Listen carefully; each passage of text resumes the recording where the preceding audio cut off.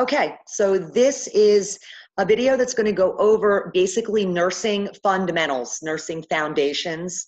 Um, go, we're going to go through safety and hygiene and infection, and I'm going to share my screen and we're going to pull up some objectives so that we know what we're going to be focusing on throughout the course of this lecture. So share my screen and there are the objectives. So the first set of objectives is about vital signs and procedures used to measure vital signs, height, weight. Um, so apical heart rate, you place the diaphragm and the stethoscope at the mid left clavicular line and go down to between the fifth and sixth intercostal space. That's what's called the PMI, point of maximum impulse. And that's where you are going to be able to auscultate the strongest cardiac sound. And what you should hear is a nice regular rhythm, lub dub, lub dub, lub dub, lub dub, and the rate should be 60 to 100 beats per minute. Any kind of irregularity in the beat, if it's not like a marching band, it's irregular. If it sounds like a jazz band, lub dub, lub dub, dub dub dub dub dub dub dub dub dub dub dub dub. That's irregularly irregular. If there's a repetition to the weird beat, then it can be regularly irregular. Lub dub, lub dub, lub dub dub dub, lub dub, lub dub, lub dub dub dub. EasyAuscultation.com is a great website to go to. You will be able to hear real heart sounds and lung sounds. Uh, when we are assessing temperature, uh, what with COVID-19, um, uh, not tympanic, temporal temperatures are being done more frequently when it comes to checking adults. 98.6 is within normal limits. Anything greater than 101 is considered pyrexia, which is a fever. Um, anything between that 98.6 and that 101 could be what we call a low grade temp, um, but it would be based on clinical judgment whether you'd be concerned about it or not. Right, based now, our, our, um, our uh, protocol guidelines. Guide, the study, yeah, that were we were given uh, say 97 6 or 97 5 to 90 or 97 god 97 6 or 97 7 to 99 i'm gonna let me five. elaborate. Right. So there's no such thing the word normal doesn't exist right? It's a horrible word because it's a subjective word.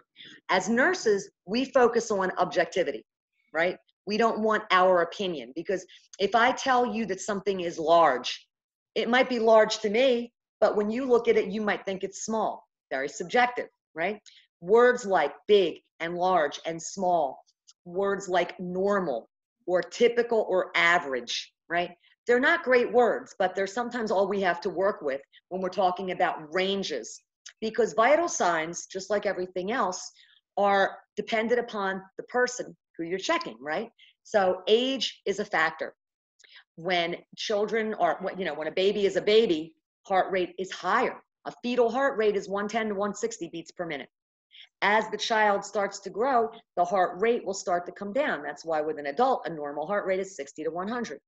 Temperature. When you're looking at older people, geriatrics, you're going to find that most older folks are going to have a temperature that's in the 97 something range. And that's okay. Why? Basic metabolic rate slows down with age. They lead usually a more sedentary lifestyle. Thyroid function starts to slow down with age, which also affects the base metabolic rate. And so all of these things bring that body temperature, the core temperature, a little bit lower than maybe your average, typical, healthy adult, you know, at a 98.6. So there are ranges for all these numbers because there are that many different types of people. When we listen to lung sounds, we are auscultating anterior chest wall, right and left, and then we are also auscultating posteriorly. Um, there are five lobes in the human lungs. There are two on the left and three on the right. And the best way to auscultate is when you're auscultating posteriorly.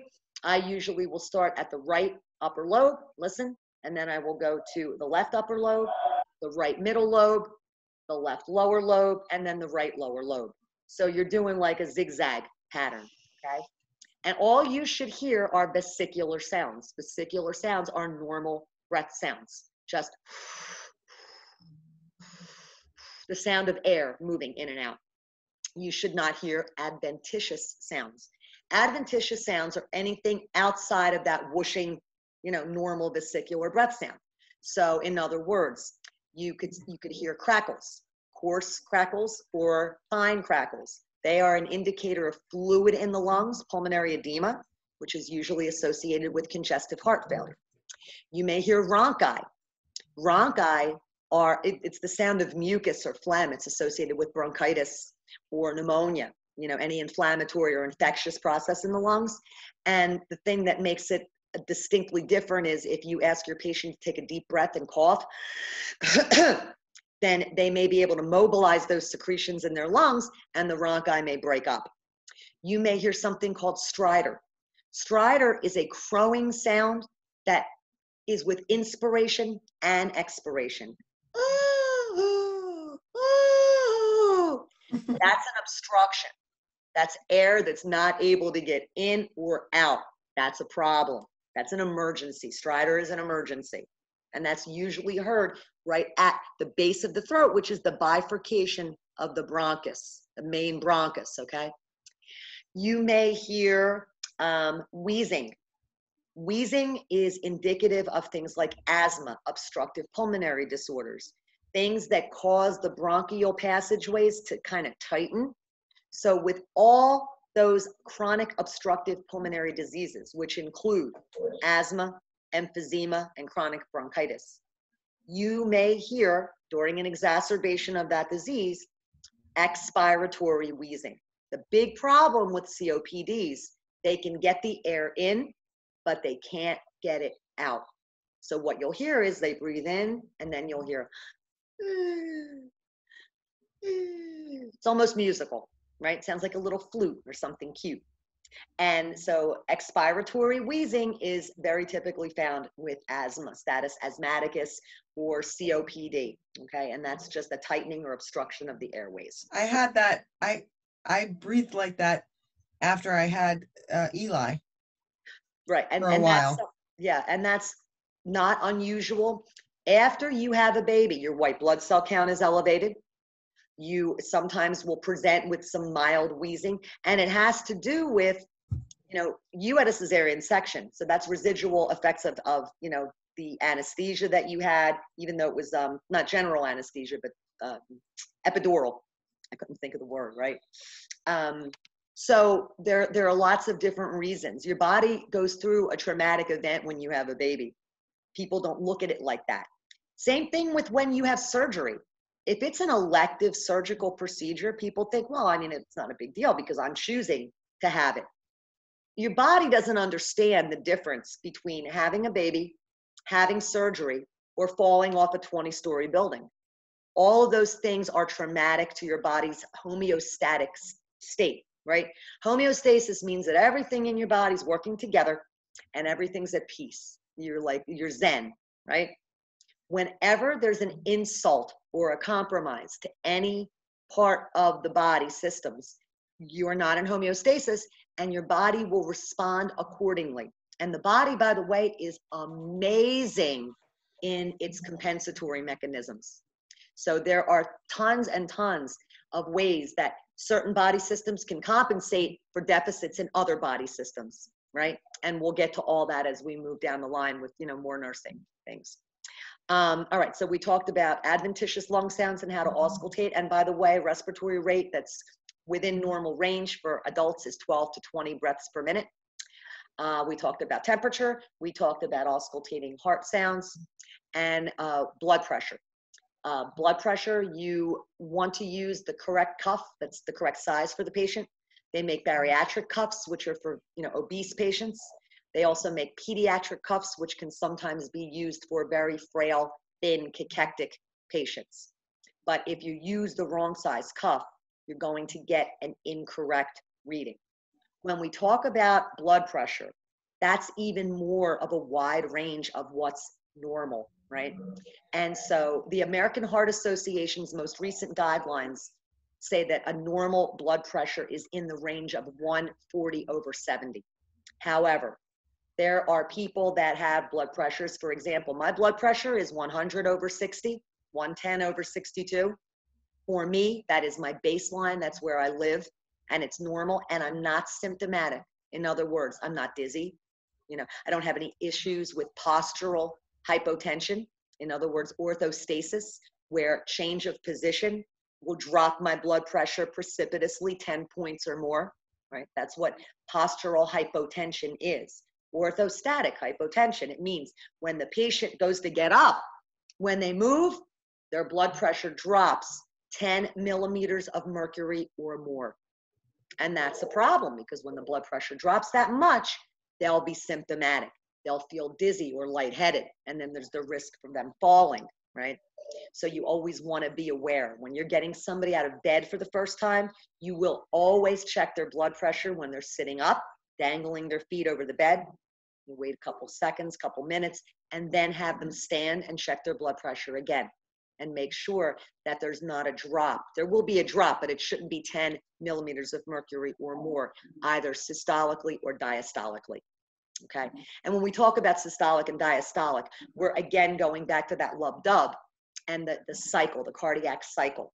So blood pressure is a measurement of the left ventricle, how hard it's working to push the blood through the aortic valve into the aorta and into systemic circulation so that you get adequate oxygenated blood to your brain and your organs and your tissues and everywhere else, right?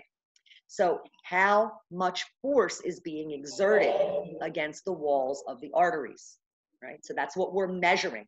And we're measuring the, the one stage of the pumping, which is the systolic, and then the relaxation stage is the diastolic.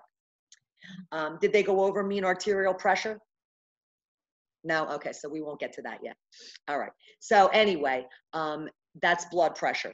All right, and you always want to make sure that when you look at a systolic greater than 150, when you look at a diastolic that's greater than 80 or 84, you're concerned a little bit. Is this their baseline or are they hypertensive? Right? And then the other thing that's a factor too with age. Just remember this when it comes to things like vital signs and risk for disease processes, there are two very fragile groups, and it's the very mm-hmm. old and the very young, right? With the very old, as people age, just like a car wears out, well, people's body parts will start to wear out. They don't work as effectively as they did when the person was younger. So you'll find older people are immunocompromised. Their immune system doesn't respond as quickly as it used to when they were younger. You will find changes in vital signs because of the aging process. Arteriosclerosis, which is hardening of the arteries or stiffening of the arterial walls, can cause a spike in blood pressure with older age. They're not as elastic. Right, they're not as elastic. And so, therefore, you will see blood pressures in older folks a little bit higher than maybe they were when they were younger, right? Um, so there, there are lots of things to take into consideration. Every body system is affected by the aging process to some degree, right? And vital signs are not excluded from that.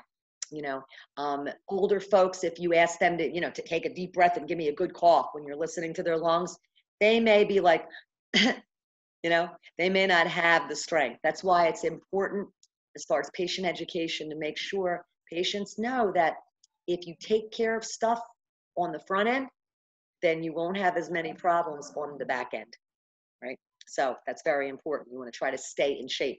Even things like building muscle mass to prevent osteoporosis in postmenopausal women. Osteoporosis is a porosity or a weakening, brittling of the bones that occurs postmenopausally because of estrogen diminishing. And um, one of the ways to prevent it is to do weight bearing exercises and, and build muscle mass. The more muscle mass a woman has before she goes into menopause, the less likely she's at risk to develop osteoporosis. So aging affects everything, including vital signs. Like I said, temperatures are usually lower with age, blood pressures are usually higher, heart rates can usually be a little irregular. And never, never, never use a pulse oximeter to assess a patient's heart rate. always auscultate it with your stethoscope because especially with older folks, putting a pulse oximeter on a patient's finger and reading the capillary bed may give you a heart rate that's not even remotely close to what you would hear apically. And that has to do with the aging process on the vascular system. So it's important to know that that is not the way to assess a heart rate, okay? And furthermore, when it comes to a pulse ox or any electronic equipment that we use, they're wonderful. They are. However, they have limitations. So if you put a pulse ox on me right now and it read 78, what would you think? Wh- What's the blood pressure? No, pulse ox. Oh, what's the pulse? 78? 78%. What would you think? Did you say 78? I said I 78. would think that's way too low. Right, But okay, you put a pulse ox on me just now and you read 78. Look at me. Oh, for the heart rate. No, no. Or the pulse ox. We're talking Okay. about oxygenation. I'm making a point about electronics. If the pulse ox says 78% Oh, ox, and I'm looking at you, actually you. I would Right. think it was wrong. right, right, Okay, yeah. right. So you would say to yourself, well, she's not cyanotic and she's not short of breath. So she looks fine to me. She can't Mm-hmm. be 78. So what I'm saying is don't rely heavily on electronics. Look at your patient. Look at your patient. Always look at your patient, right? You will learn that the minute you even lay eyes on somebody, you're assessing them. You're looking at their stature, their posture, you're looking at their skin, you're looking at their body weight, you're looking at their hair. You're, you're looking at so many things that half your assessment is done before you even open your mouth and talk to your patient. Mhm. Promise. So, all right. Um, communication skills required to report and document vital sign measurements. Objective, objective, objective, objective. When you are documenting and reporting, say you're giving report to an oncoming nurse and you're the nurse that's going off shift, just the facts, please, like a cop, right? Mrs. Jones is 78 year old Caucasian female. She is awake, alert, and oriented. She's in for uh, arthroplasty of the right hip. Her blood pressure is 102 over 64. Her heart rate is 76 and regular. Her respiratory rate is 14 breaths per minute. Her temperature is 97.6. She's pulse oxing 92% on room air at rest. She has comorbidities of hypertension and osteoporosis that she takes alendronate once weekly for her osteoporosis. And she takes uh, lisinopril five milligrams daily for her hypertension, which she manages it very well. So just the facts, right? The numbers, right? Um, when it comes to communication skills, when you're talking to other practitioners, you wanna you wanna try to not ever have any type of opinion influencing what you're reporting, right? Let's say you found a patient, you're, you're doing rounds and you find the patient in their room and they're on the floor. Okay. You can't assume anything, right? Because you don't know what happened because you didn't see what happened. All you know is, is that you walked in the room and the patient's on the floor, right? So if they're awake, alert, and oriented, they can tell you what happened. But if they're confused or have dementia, they can't tell you what happened. So the priority action of the nurse in that case is to assess the patient before you even move them and make sure that they're, they haven't sustained any type of injury. Make sure that they have range of motion of the lower extremities, especially of the hips, right? Not that they have one foot that is internally rotated, because that's a sign of a fracture, hip fracture, or that one leg is longer than the other. That's also a sign of a hip fracture. And make sure there's no head injuries. And so when you document that, let's say you assess them, take their vitals, everything's fine, you get them up. Well, let's They remind can't her tell if you what ever gets happened. old Sick, she can come live with us. Um, Jarrett wants me to let you know if you ever get old and sick, you can come live with us. Aw, he's a good, see, such a good son. I love you, honey. I'm looking at She's nothing. Such a I'm- good son. Yeah, I know. Such He's a in the good crack of son. the door. Eli's awake. All right, have fun. Don't bother me. Go ahead. Okay, so you assess your patient and it, it appears that they've not sustained any injuries. You get them back in bed, whatever, and now you're gonna go document.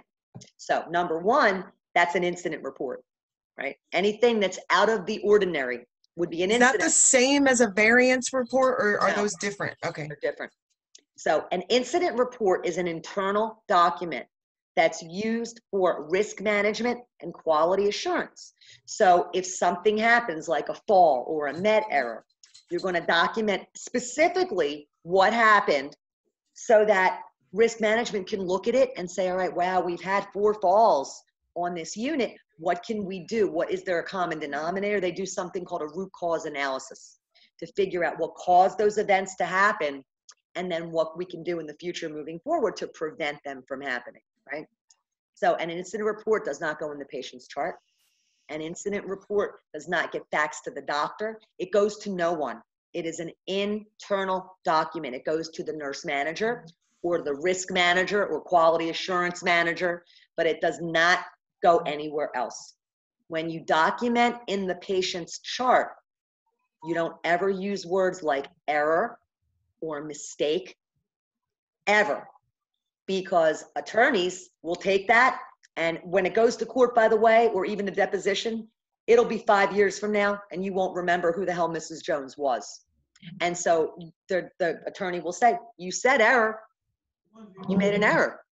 It's your fault that she's dead right i've seen lawyers make nurses cry right and, and they will so that's why documentation is critically important so in the patient's chart all you would write is received patient on floor next to bed. Whatever you write the date, you write the time. Received patient on floor next to bed.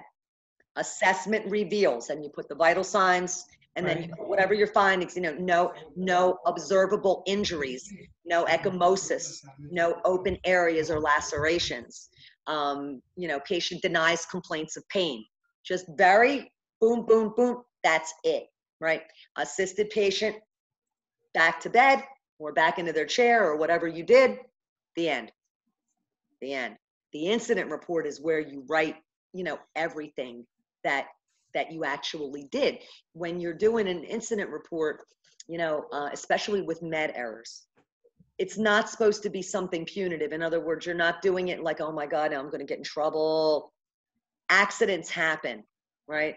But the whole idea of it is to figure out, you know, was there any harm done to the patient number one and what do we do to prevent this from happening again so you know if the patient fell is the patient confused the one that you found on the floor. Like you don't want to write anything in that patient's chart like you know patient has been trying to climb out of bed all morning.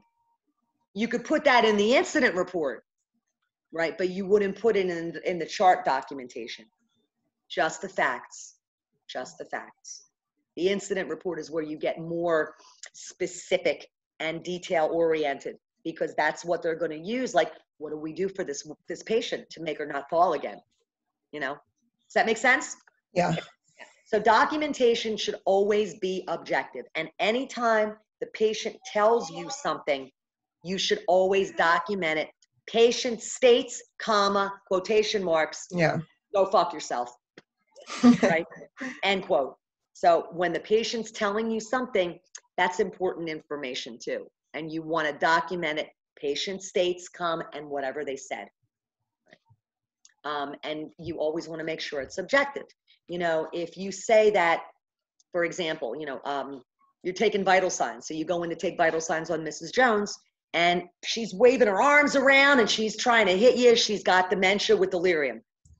So if you write in her chart, resistant to care, help us understand what you mean by resistant to care, because that's a little vague, right? In Mhm. that case, you want to say, you know, patient yelled out F you, quotation marks, and proceeded to take her right arm and try to slap me in the face twice, you know, or whatever happened. Just the facts.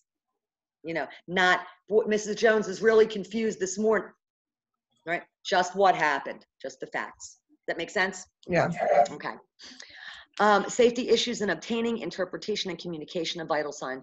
So when we talk about vital sign measurements, alterations in, in a simple vital sign can give us a lot of information. For example, if you have a post-op patient and you go in to assess them and you notice there's been a drop in their blood pressure but an increase in their heart rate, they're losing blood.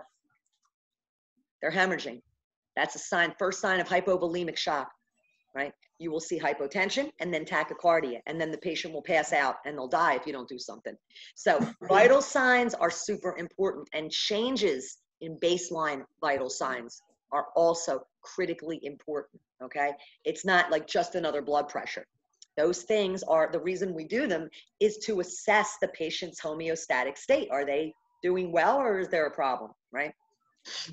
Um, when we talk about patient centered care interventions for vital signs that are altered, you know, there are a lot of them. So it would depend. For example, if you have a patient that is presenting dyspneic, short of breath, then you know the first thing that you would do is make sure that positionally they're in the high Fowler's, most upright position they can be in because that makes it easier for people to breathe. And then the second thing, do they have a patent airway? Pulse ox, what's their pulse ox? Assess their lungs, give them oxygen, two liters nasal cannula. So, you know, interventions are based on the degree of change in the vital sign that we're speaking of right? So patient is on a med surg floor and suddenly you listen to their heart and you hear and it's it's so fast you think you counted 120 or 130 beats in a minute so you know you're going to get an ekg immediately and you might even transfer them are they in afib you know we don't know what's going on so that's critical you know Mm-hmm. Airway breathing and circulation are critical. Hypertension, you know, you go in and assess the blood pressure and it's 190 over 110. With blood pressure that high, the patient is on the verge of a CVA, a cerebrovascular accident, a stroke, right? So that requires immediate intervention. Um, and that is one where you know as a nurse you can't independently give a medication so that's a you know call the doctor although the answers to these questions are typically nursing interventions if a patient's blood pressure is low a quick fix that you can do if they're, if they're low and they're symptomatic they're dizzy get their feet get them in a trendelenburg position get their head down and their feet up that will temporarily get their blood pressure up a little bit don't do that if they're tachycardic because then they're in they're going into hypovolemia. So you wouldn't do that. But if they're just hypotensive, their blood pressure is low, you can bring their blood pressure up a tad by doing that until you get a hold of the doctor and try to figure out what's going on. Okay, so those are patient-centered interventions. Um, and again, with delegation, just remember when you're delegating a task to an assistive personnel, never delegate anything you can eat that stands for evaluate, assess, teach, or treat. Aides cannot teach, they can't reinforce teaching, they cannot. They can't teach somebody how to use a walker. They can't teach anything at all. That's a nursing, that is a skilled thing that needs to be done. So what you're, you're so when you say that, so you're saying that assistant personnel cannot eat. Right. Never delegate anything that you can eat. Right. Because right. You evaluate because they cannot do that teach, because they cannot they do can. those things. Right. Cool. They can't do dressing changes. They can't do ostomy appliance changes. They cannot do any type of education. They can do task oriented things on stable patients. They can do EKGs. They can do bed baths and stuff, right? Oh yeah, they do personal. I'm sorry. So yeah, they do personal like care. personal care. Yeah, yeah. Right. So they are equipped because that doesn't require any evaluation, right? Right. So personal care, they can do bed baths and showers and you know shampoo and um, personal hygiene ADLs. Let's say you need a patient ambulated and you don't have time and the patient is stable. You can direct the assistive personnel. You can say, listen, I want you to go down to Mrs. Jones in 208 and I with her walker. I want you to ambulate her once after breakfast and once after lunch from her room to the nurse's station and back, and then report back to me how she did. That's super specific. See how I right. said when, how far, how often? You can't just say, hey, do me a favor when you get a chance, ambulate Mrs. Jones. Because then what you're doing is you're giving them the responsibility of using clinical judgment and they can't do that. So you have to direct them with specificity and it has to be something that is a task and they need to report back to you. And if they report back to you something that seems out of range or strange or just doesn't seem quite right you go and check it yourself always if it's a vital sign or a blood sugar or whatever. Okay? Okay and I think that covers vital signs. So health assessment. What is the purpose of a health assessment? Purpose of a health assessment is to review a patient's physical, physiological state, every body system, integumentary, cardiovascular, pulmonary, endocrine, you name it, right? A head to toe assessment to make sure that they're not suffering from any kind of pathophysiological alterations, diseases, and to make sure that, you know, they're not having any issues. Hypertension is called the silent killer. So there are so many other diseases like that out there where there aren't symptoms. So a patient could be walking around and going, I feel fine. You know, there's nothing wrong with me. But they could be, you know, a stroke waiting to happen. So it's important for people to have annual checkups, it's important for a health assessment to be done. Um, communication skills between the nurse and the patient are critical. Um, and this goes back to nursing ethical principles. So when you are developing a rapport with your patient during the interview phase of the assessment, you know, introducing yourself, the introductory phase, you know, I'm your nurse, my name is Mary, and here's what I'm going to be doing today. And can you tell me your name and your date of birth and tell me a little bit about yourself and maybe why are you here? You want to do a couple things. Number one, you're establishing um, fidelity, the fact you're, you're building trust with the patient to make sure that the patient can trust you. And fidelity is one of the nursing ethical principles. You are demonstrating veracity and veracity is telling the truth. That's another ethical principle. The way I remember veracity is a Latin phrase that's in vino veritas. In wine, there's truth. And that's how I remember veracity means truth. Okay. You are developing autonomy for the patient. In other words, the patient must be an active participant in his or her plan of care. So if the patient is a night person and they say to you, you know, I really like getting my showers in the evening, you're going to do your best to accommodate the patient, right? Because they need to be participating in that care plan, right? Um, patient centered care components that are important preparing the patient and the environment for a health assessment. Say. An evidence based practice related to techniques of inspection, palpation, and auscultation. Okay.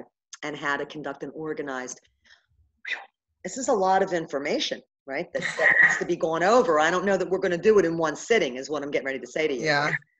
Anyway, okay. So, first of all, when it comes to inspection, palpation, and auscultation, remember this look, listen, and feel. Just remember that line. You're always going to look first, then you'll listen, then you'll feel. And when it comes to palpation, it's light palpation and then deep palpation. So, in other words, the patient comes in and they are complaining of right lower quadrant abdominal pain. Okay. The right lower quadrant, by the way, midway between the right iliac crest and the umbilicus, that is called McBurney's point. And that if there's pain or rebound tenderness at that site, appendicitis. So you would look, you would auscultate for bowel sounds, but when you feel, you would very lightly palpate, right? And if they go, ooh, you would never palpate it again deeper. Why? You could rupture their appendix and they can go septic and die. Right? So there's a reason that there's an order to those things. When you're wanting to auscultate bowel sounds, if you palpate the abdomen first, yeah, yeah. it makes it. Yeah, you're going to stir things up. You want to listen before you touch, right? Okay. Um, the, the nurses, new nurses, the biggest problem they have with a head to toe assessment is what to do. And I'm going to give you a head to toe assessment in less than two minutes. You ready? I do this with my students. If the name of it is head to toe, right? Just think about it. The first thing that you're going to do, you're always going to get vital signs, pulse ox, and assess pain. Those are the three things that you always do first, right? Then when you start with the head, how is the head? Do you feel any lumps, bumps, bruises? How's their hair? Is it shiny? Are they losing hair? Alopecia? You're going to look at their eyes. You're going to be checking for two things pupil reactivity and accommodation. You're going to take your pen light and you're going to tell the patient to just look straight ahead and you're going to take the pen light and you're going to shine it into the right eye and the right eye and the left eye. Both pupils should constrict consensually. You're going to do the same thing on the left side. Both pupils should constrict consensually with the light. And that's accommodation. No, that's light reactivity. Oh, reactivity. Okay. And you're going to be measuring the pupil size. So when when they're just normal, pupil size can be anywhere from one millimeter pinpoint up to 10 millimeters. Okay. And I'll send you a little guide so you can see what it looks like. But when you radiate the light into the eye, the pupil's going to constrict, right? And they should be equal equal and reactive. That's the consensual reaction. Then accommodation is you take an object, could be your pen light, and you tell them, I'm going to bring this close to your face and I want you to stare at it. And when it's farther away, their pupils should be dilated to let more light in. And as you bring it closer to their face, their pupils both should start to constrict as they're trying to focus on the object as it gets closer to them. That's accommodation. That's accommodation. Okay. Accommodation. I knew that. I don't know why I, because I, I knew that, Okay. All right. but I was confused because Okay. I'm brain dead. Uh, no, you're not. And then the other thing is this, um, you can do the, it's called the H gaze. And you're, what you're doing is you're checking cranial nerves, okay? When you do the H gaze, you're gonna tell the patient, I want you to follow this pen, don't move your head, just follow with your eyes. You're gonna go over to the right, gonna go up and then down, back to the middle, and then over to the left, up, down. You drew an H. Cranial Okay. nerve two? That's the, is that the optic nerve? Yeah, so oculomotor. Ocular motor. Is that the second? That's not the second one. That's the third one. On old Olympus towering tops, a Finn and German viewed some hops. I Yeah. remember that from nursing school. So I have to say it. Yeah, I know the mnemonics. Oh, you do um, already? I do. Yeah, I I watched a video that um a medical school did a song. I'm impressed. They that's did a song. Somebody shared it on the Facebook page. It's the cutest little song. It goes along with the "Call Me Maybe" sound. Really? Yes, I'll Oh, send it to you. It's say it. it's very very cute. Can and you it, and send it, that to me? yeah, yeah, I will. It's um Because I don't have a song for that. I just know on old Olympus towering tops, a Finn and a German viewed some hops. And that's how I remember the cranial nerves. it's like it's like cranial nerve one gave me a whiff. What's that? Is that C diff? Sensory nerve guides my sniff. Olfactory is the way.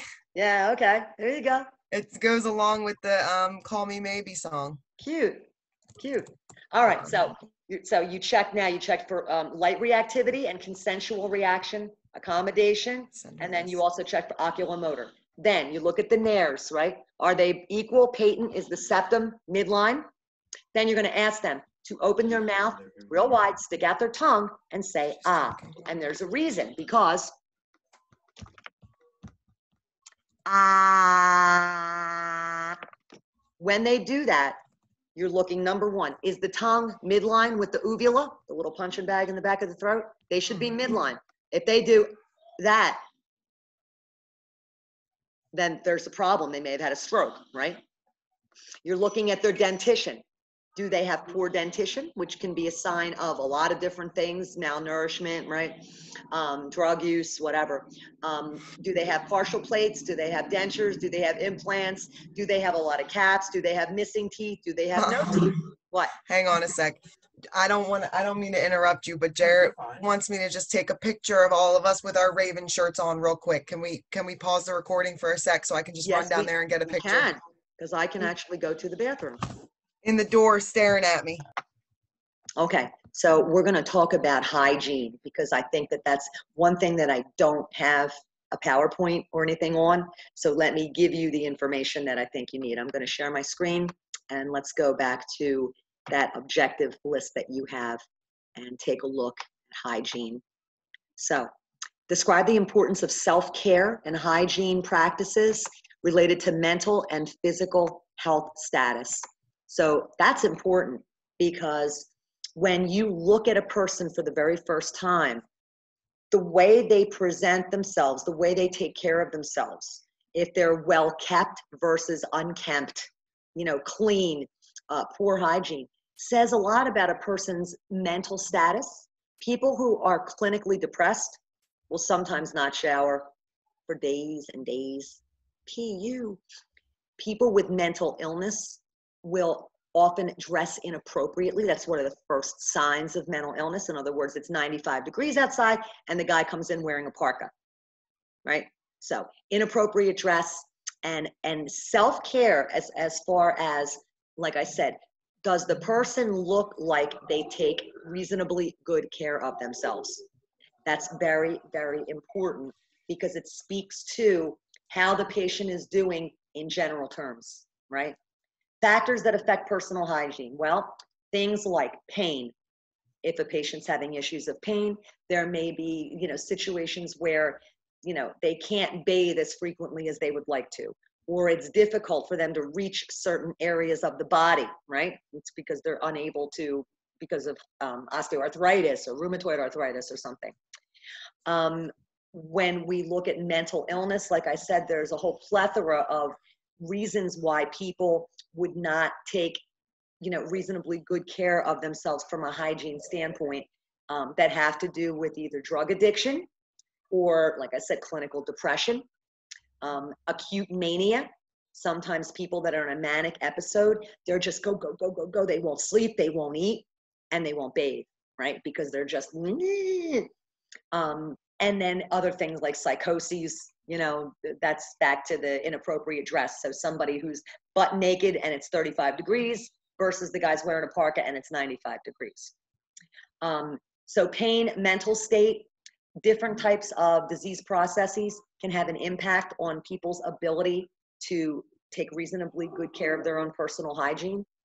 Um, for older folks osteoarthritis is a big issue because if they have significant osteoarthritis, they're going to have difficulty with just the minor ADLs, things like, you know, oral care, right? Brushing, flossing. They may not be able to, you know, perform the actions that are necessary for flossing their teeth. Um, hair, taking care of their hair, you know, shampooing it, being able to reach it, you know, being able to dry it, being able to brush it, right, take care of it. You look at somebody's nails, a person's nails tell a whole nother story. If they're very dirty and dry and thick and overgrown, that tells you a lot about either do they have a fungus in their nails? And then if their nails are dirty, what's the rest of them look like? Um, if their fingertips are clubbed, and clubbed fingertips are where instead of that little concave part at the nail bed, it just looks like a club. It's almost overgrown. That's a sign of chronic hypoxia. So people with breathing issues, like chronic obstructive pulmonary disease, will have these clubbed fingers. And that's another telltale sign that you can just look and go, Ooh, breathing issues, you know, without even listening to their lungs. Um, when we look at the um, the skin, you know, do they have um, you know a lot of a lot of scars? Do they have wounds? This is another thing that goes, speaks to mental health if you see a patient that's got multiple lacerations, ecchymosis, right, that are in all different stages of the healing process, that's worrisome because that's a telltale sign of abuse too, right? So in other words, she's got cuts on her leg that are like almost all healed, but then there's cuts on the back that are new. Yeah, that's you know, big red light should light up. Um, Oral care is exceptionally important because that relates to nourishment. So, one of the biggest issues with geriatrics. So, they don't have teeth and they can't afford dentures. There are two things that Medicare does not pay for, and they're the two things that old people need the most dentures and hearing aids. And Medicare does not pay for either of those things. And so sometimes what you'll find is you'll have a, a person without any teeth that's called edentulous. And how are they going to be able to eat? So they will often just, you know, kind of stick with soft foods and they're typically malnourished because of it, right? They can't chew. Or ill fitting dentures. If they're speaking to you and they have dentures in their mouth, but the dentures are flip, flopping all over the place in their mouth, they're not going to be eating with those dentures. They're probably taking them out to eat and they're only wearing them because they're coming to see you, right? Just to make you think that everything's fine. Um, so that, and you would look at somebody's state of nourishment. Do they look well nourished? Or does their skin look dry and flaky? Like I said, does their hair look dry and flaky? You know, that is another telltale sign of poor nourishment. Um, assessment findings that support self-care deficits. And basically that's, you know, what I've been talking about, right? All these different things that you would find outside the norm. Um, whenever you're developing a plan of care for a patient, and I know earlier you said, you mentioned the word variance. So everything that we do for patients is basically a care plan, a plan of care. And it's back to the nursing process, assessment, diagnosis, planning, implementation or intervention, and then evaluation. And so when you develop a care plan for a patient, let's say the patient does have issues with nourishment, right? And we find that they are greater than 20% under their recommended body weight for their height, and their BMI is like a 17, which is very low. So we develop a care plan for this patient that has interventions as far as, you know, high calorie, high protein snacks, shakes, you know, in between meals, um, and it's all secondary to them not having teeth, let's just say, right? So they're not getting enough nutrition, they're underweight. We're going to develop a care plan that's going to relate to things that we mm-hmm. can do in the meantime to get nutrition back into this patient, like soft foods and shakes and things like that, that are high calorie, high protein, right? Getting the nourishment that they need. And then we're going to set a goal. And maybe the goal would be, you know, patient's weight will increase by five pounds in the next 30 days, right? That's a reasonable goal. And then you see the patient in 30 days and instead they've lost weight. That's a variance. A variance is where the care plan, the expected goal did not go as planned. Mhm. So, but you would never just throw away that care plan. What you do is you document the variance. So the intervention, for whatever reason, didn't work, and you will modify it and then try again. So that's a variance. A variance is just it didn't go as planned. So, but you never get rid of that pathway. And they're also called pathways. Pathways, care plans, they're critical pathways. All of those things mean care plan. They all mean the same thing. What's going on with the patient? Actual problem, or what could go wrong with the patient? Risk for a problem, right? And then what are you going to do about it? How are you going to do it? Why are you going to do it? And what's the goal? What do you expect to happen in a measurable amount of time? Right? So that's what that's everything we do in nursing is that. Um, let's see. And then infection, you've got my um my PowerPoint now, and you've got my lecture on infection. Just know this. Standard transmission or universal transmission precautions just means you always wear gloves if you're going to come in contact with blood or body fluid. Um, contact precautions are for things that need to be touched. So that would be like herpes simplex 1, cold sores, sexually transmitted diseases, right? Chlamydia, chlamydia, HPV, right? Those are sexually transmitted, so they're contact precautions. If a patient has an infection in a wound, contact precautions. If a patient has Clostridium difficile, C. diff, contact. If a patient has VRE, vancomycin resistant enterococcus, contact. And that's found in urine, by the way. That's another super bug. So contact precautions are gloves, a gown, sometimes goggles or a face mask. Say you're irrigating a wound and you're afraid it's going to splash, right? Then you would prepare appropriately. A face shield or Right. And then you have droplet and you have airborne. Airborne stands alone. MTV. That's right. That's right. Yeah. Measles, tuberculosis, and varicella. And just remember, airborne, the nurse wears an N95 fitted particulate respirator. Patients in a negative pressure room, they wear surgical mask if they need to be transported, which you don't want to do unless you absolutely have to. And they never would share a room. Whereas if you had two patients on droplet, let's say they had pneumococcal pneumonia, that's droplet, or pertussis, that's droplet. You could have two patients with the same diagnosis sharing a room, and that would be okay, but not with the airborne diseases. Okay, can't do that. And then the chain of infection, that's like so easy. It's in my video, and that's in the PowerPoint. When we talk about a vector versus a vehicle, here's the easy way to remember it. A vehicle is inanimate. A vector is a living thing. So in other words, if you have a mosquito that transmits the Zika virus, is that a vector or a mm-hmm. vehicle? The mosquitoes? Uh, vector. Right. Vectors are living things. Vehicles are inanimate. If you have a group of people that all go to a down by the sea crab shack and they all get clams on the half shell and they all wind up with hepatitis A, right? Then you know what was the vehicle. It was the clams on the half shell because somebody didn't wash their hands because Hep A is transmitted oral fecal. So, I mean, infection to me is pretty easy. And the number one protective mechanism that we have to protect us against infection, what is it? Hand hygiene. Our skin. Our skin. Oh, oh, okay. I thought you meant like the the the precautions that yeah, we take. that's the number one precaution. That's absolutely. And you know, if your hands are visibly soiled, you wash them. If they're not, you always, you know, The sanitizer. Right, and you rub them till they're dry. And you know, like if the patient has C. diff, even if your hands aren't soiled, you wash them. You don't use sanitizer. Okay. Um,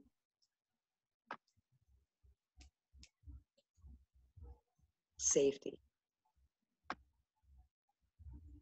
So, oh, restraints. You talked about restraints. I'll give you my restraint cheat sheet too. Restraints are easy. They're always the last resort, the last resort, right? After you've tried everything else, because restraints, we don't like them and the state doesn't like them. You have to have a physician's order, and an order is only good for 24 hours. You have to do um, circ checks, circulation checks on the patient minimally every 15 minutes if they're in wrist restraints, right? Um, because it doesn't take very long if a patient's combative and agitated and they have wrist restraints on and they're pulling, pulling, pulling, they can cut off the circulation to their hands, right? You never secure a restraint to a movable portion of a bed or a chair, right?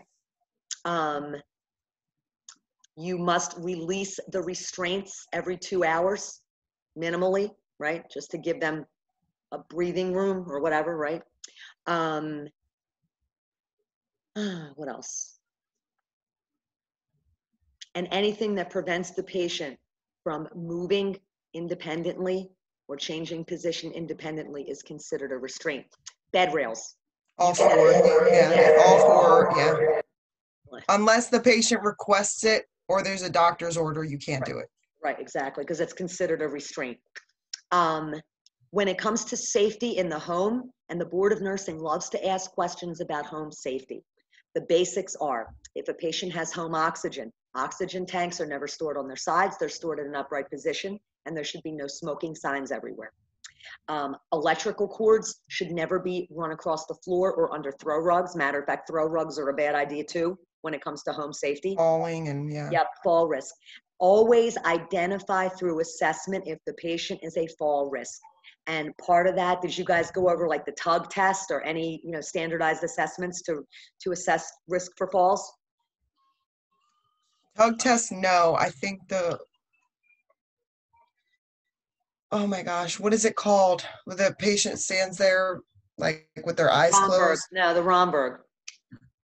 Yeah, I never heard tug test. The tug test is the timed up and go. And basically what you're doing is you're, you know, looking at your watch or your phone and you're gonna have the patient get up from the chair and walk about five feet and then turn around and come back and then sit back down and see how many seconds it takes them. Because if a patient is able to just get up and walk, you're good. But if a patient does this,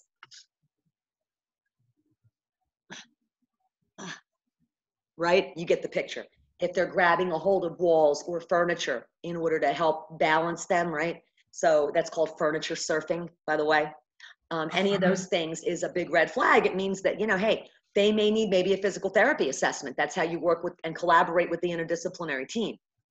Physical therapy is about ambulation and transfers, lower extremities. Occupational therapy is about self care, upper extremities, brushing your teeth, washing your face, washing your hair, cooking, eating. That's occupational therapy, right? And speech therapy, twofold. They're about speech, of course, right? But they're also about swallowing issues like dysphagia. Okay, so when you're collaborating with the team when it comes to safety, if the patient has poor balance and they're unable to transfer independently, maybe they need a PT consult and, they need an assisted device like a walker or a cane or something, right? To prevent them from falling. Um, let's see, safety considerations. Do you have any questions that specifically that I could maybe answer for you? Because I feel like that one is pretty self-explanatory. I, I felt that I felt like that too when it came up. I was like, I'm not gonna focus on it too much because a lot of it is. It is. Oh. It's common sense. A lot of it's common sense. Oh, oh gosh. Um, yeah. And the activity one describe the role of skeletal muscular nervous system. Yeah, I mean, I think that that's like the skeletal muscle and the muscular, all that stuff. Um, So you know, it's just how they work together to make the body move. That's Right. it's just right, and yeah, how that different part. and how different diseases can impact it. So, like for example, myasthenia gravis. Myasthenia gravis is autoimmune, and it's where the acetylcholine receptors are attacked by the patient's own immune system. Acetylcholine is one of the neurotransmitters that we have. So we need acetylcholine in order for our nerves and our muscles to communicate. So when I when I in my brain I go I'm going to stand up, I can stand up, right? Because there's acetylcholine that's getting sent to ena- enable me for my nerves to stimulate my muscles to move my bones. They all work together, right? And so there are different disease processes, a lot of autoimmune, so myasthenia gravis, multiple sclerosis that impact mobility. Um, there are degenerative diseases like osteoarthritis. Rheumatoid arthritis is both degenerative and autoimmune, so it's the worst of both. Uh, and all of those things affect, you know, balance and mobility and activity. So, you know, when we talk about uh, prevention, prevention is the number one way. It's it's easier to prevent something than it is to treat it. It's that simple, you know. So, exercise, starting an exercise regimen, not leading a sedentary lifestyle, not being overweight, right? Being in your weight range for your height and your stature. Um, and then when it comes to ergonomics, that again, that's pretty self-explanatory as far as moving patients. Remember, if you're moving a patient that's immobile and you're using a draw sheet, you never pull, you must lift and pull so that you don't shear their skin. Friction If rub. Yeah, well, yeah, it's, it's uh, no, not a friction rub Oh, is it's in you- the lungs. or the heart. You can have a pericardial rub also if you have pericardial effusion, or pleural effusion would be a pleural rub. So, but a skin tear is what can happen if you just pull the patient on the draw sheet. So you must lift and move, right? You never, you never drag a patient across the bed, is what I'm saying. Um, you should always keep your stance. Your feet should be as far apart as your hips. You should never have your feet close together. You should never bend at the waist. You should always use your thighs, your legs when you're lifting something. Um, if you, if it's something that's over like 10 or 20 pounds, get help. Don't do it yourself. Um,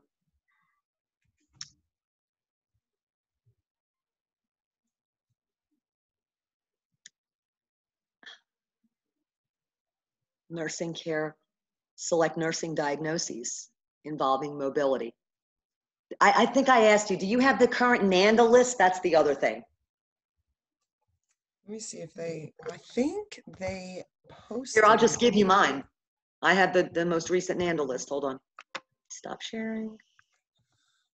Uh, I'm actually going to stop the recording. Okay. I think we're, we pretty much covered everything and I'm sending you everything I have for, for this part of the program.